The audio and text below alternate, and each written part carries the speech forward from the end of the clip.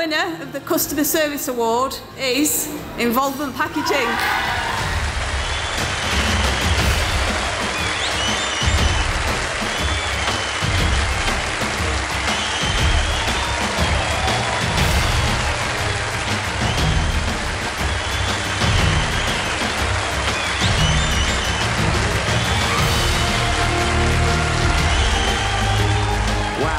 Um, I'm a bit stunned actually.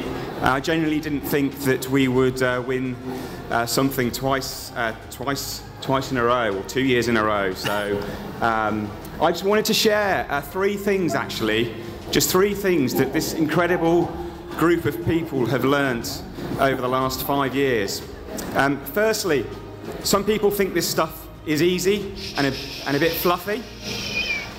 The reality is it's not. It's hard work to do this stuff day after day.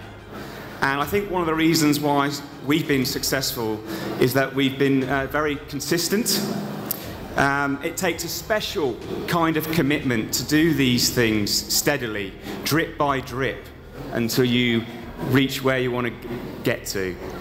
Secondly, um, it's all about our values handbook, we use this around the business. It's something we really believe in. And it all comes back to this, guys.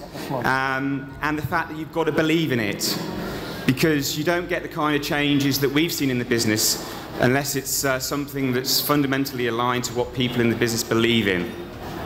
And finally, just finally, um, and this is something that we say quite a lot in, in our business, and I hope it will resonate with a few of you in the room here tonight and that is uh, take a leap of faith. Uh, we didn't know how to do this, yet just look at what we've achieved. We've learnt as we've gone along, and we've improved through practice. But the most important step that we ever took was simply beginning.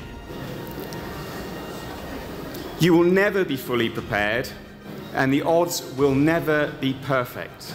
So, just begin. Thank you, everyone. Thank you.